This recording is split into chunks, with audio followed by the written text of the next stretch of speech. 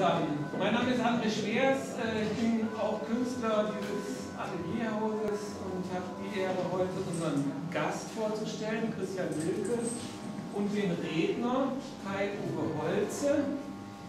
Ähm, wir führen unsere Tradition fort, äh, zum Tag der offenen Tür einen Gastkünstler zu präsentieren hier in den Ausstellungsräumen. Ich freue, mich, ich freue mich besonders, dass so viele Gäste heute erschienen sind und auch ganz viele Gesichter, die ich persönlich noch gar nicht so hier im Hause wahrgenommen habe. Ähm, ich freue mich auch, dass Herr Krützberg, unser Kulturdezernent, heute da ist. Ähm, ich will auch jetzt gar nicht so lange das Prozedere aufhalten, denn ähm, in der Küche gibt es Getränke und ich sehe, einige haben schon so ein bisschen so ne, mit den Hufen geschadet und wollen vielleicht ein bisschen was trinken und eine Kleinigkeit essen. Äh, ich wünsche allen viel Spaß. Was ist das Wort? Ja, vielen Dank. Bitte.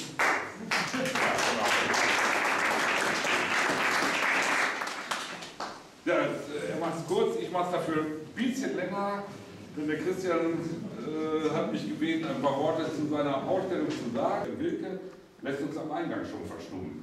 Das Auge wandert auf seinen Bildern von links nach rechts, von oben nach unten. Es sucht Halt auf den Bildflächen, den es häufig aber gar nicht findet. So stark sind die Brüche und Irritationen, die der Künstler uns in seinen Arbeiten zumutet. So stellt er Farben nebeneinander, die ein Flimmern im Auge auslösen oder entwirft Konstruktionen, die geometrisch absurd sind. Auf den ersten Blick erscheint es häufig einfach, die Bilder zu entschlüsseln. Doch erst die Konzentration auf die wenigen Elemente und Farben in seinen Bildern lassen die ganze Kraft seiner neuen Arbeiten erfahren und die subtilen Brüche erkennen. Christian Wilke, 1963, das dürfte irgendjemand mit der Mütze da, es noch nicht mitgekriegt haben, 1963 in Braunschweig geboren, studierte von 1985 bis 1987 Philosophie bevor er 1987 bis 1994 ein Studium an der Hochschule für Bildende Künste in Braunschweig bei Professor Johannes Buß als Meisterschüler absolvierte. Sein Werk mit wenigen Begriffen zu umreißen, ihn gar in eine Kategorie zu stecken, fällt schwer. Verweigert er durch seine Arbeitsweise doch jegliche Einordnung. Malerei, Zeichnung, Bildhauerei, Video, Installationskunst, in jedem dieser Genres fühlt Christian Wilke sich zu Hause. Heute hat er sich aber mehr auf die Malerei spezialisiert. Dabei ist es weniger die Formensprache als die eigentliche Haltung, die seine Arbeiten kennzeichnen. Punk als Verweigerungsstrategie trifft in seinen Arbeiten auf vermeintliche Spießertugenden wie Detailgenauigkeit und Akkuratesse. Das Kunstmarktprinzip nicht mitspielt, sich aber dennoch an den, Vor an den internen Vorgaben abarbeiten, beschreibt Sven Drühl diese Haltung in einem Aufsatz im Katalog Ich und Stravinsky 2001 sehr passend. Dabei bedient sich Christian Wilke für seine Motive in so gegensätzlichen Bereichen wie den neuen Medien, dem Fernsehen, aber auch der Werbung, der Kunstgeschichte und nicht zuletzt beim Rock'n'Roll und Trash. Erinnert sei beim Stichwort Rock'n'Roll an seine Ausstellung Viva Las Vegas in der Galerie Mini im Jahr 2001, die sich damals unter Leitung von, jetzt kommt's Jörg, und das kann ich mal nicht aussprechen, Boralski, gleich hier im Nachbarhaus äh, nebenan befand. Damals war der Dreh- und Angelpunkt der Ausstellung die Musik. Eigentlich das, womit Christian ursprünglich auch angefangen hat. Denn bevor er gemalt hat und Kunst gemacht hat, hat er Musik in einer Band, die aber grottenschlecht war, glaube ich.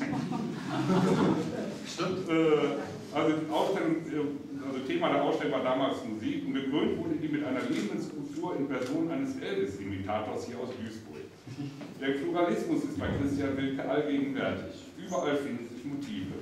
Und so entstehen seine ordinären Bildfindungen, die gespickt sind mit spielerischen Zitaten aus den vorgenannten Bereichen. Stets ist dabei die Auseinandersetzung mit der klassischen Kunstgeschichte ein ganz wesentlicher Aspekt und führt zu, Bild, zu einem Bildvokabular, das sich auf diese bezieht, sich aber, sie aber zugleich überwindet, sie schändet und sie erhöht. Mit den hier im Atelierhaus Goldstraße gezeigten neuen Arbeiten von Christian, sie sind zum großen Teil äh, in diesem Jahr entstanden, wird deutlich, dass er in seiner Arbeit konzentrierter wird. Vor eineinhalb Jahren waren in einer Ausstellung im K16 am Rhein in Duisburg-Homberg noch vornehmlich Arbeiten zu sehen, welche durch die Übernahme von fremden Motiven in ein geometrisch konzipiertes Bild geprägt waren.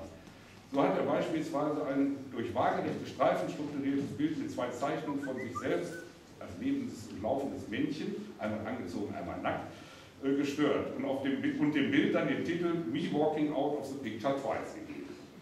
Andere Arbeiten in der Ausstellung zeigten Stars und Sternchen aus den Medien, die mit einfachsten Mitteln umgesetzt die Bildgattung des Porträts, welches in der Kunstgeschichte vornehmlich als Repräsentationsbild Verwendung fand, ad absurdum führten. Diese Fremdgänge und Fremdbezüge sind in seinen neueren Arbeiten nun verschwunden. Er konzentriert sich in diesen Arbeiten ganz auf die klassischen Tugenden der Malerei, die Kompositionslehre und die Farblehre, verweigert sich aber gleichzeitig auch wieder der reinen Lehre der konkreten Kunst, indem er auch hier die für sein Werk typischen Brüche und Irritationen schafft. Ein wichtiger Bestandteil der Arbeit von Herrn Wilke sind die oft völlig unsinnig erscheinenden Titel, deren Bezug zum Gemalten sich manchmal heute schließen lässt gleichwohl, aber immer irgendwie vorhanden ist. Er hat leider die Titel heute nicht dran geschrieben, aber äh, in der Preisliste, die sollten sich unbedingt angucken, sind die alle aufgeführt. Diese Verbindung von Titel und Bild kommt besonders bei diesen quadratischen Bildern äh, zum Tragen, in denen er sich unter anderem mit der geometrischen Kunst, wie jetzt bei den restlichen Größenbildern aber auch, auseinandersetzt. Wie in seinen zuvor schon beschriebenen Werkgruppen legen auch diese Bilder ein beredtes Bekenntnis des Künstlers zur Ironie an. Ein Nebenschrank in der künstlerischen Arbeit von Christian Wilke sind die auch hier ausgestellten Fotografien. Als jemand, der ständig auf der Suche nach Motiven ist, lebt er ein sehr intensives Leben auch außerhalb seines Ateliers, stets begleitet von seiner Kamera. Bei seinen Erkundigungen in Industriebrachen, Landschaften und für mich manchmal sehr abenteuerlich anmutenden äh, Orten, da drüben zum Beispiel finden Sie ein Foto von irgendeinem unterirdischen äh, Bunker, was weiß ich, was das war, äh, da treibt er sich überall rum. Und da findet er die Motive und Bilder, die es gilt für ihn festzuhalten. Sein Auge nimmt dabei Kompositionen wahr, die wie seine Bilder ausgewogen erscheinen und ihn fesseln. Manchmal dauert die Szene auch nur eine, ein paar Sekunden. Sie festzuhalten ist da schon, dabei schon manchmal eine eigene Besucher, schmeißen Sie also Ihre kleinen, gierigen, faulen und dummen Gedanken über Bord, lassen Sie die lauten und vagen Gefühle der Alltagswelt verstummen und finden Sie Erholung bei den Arbeiten von Christian Bild.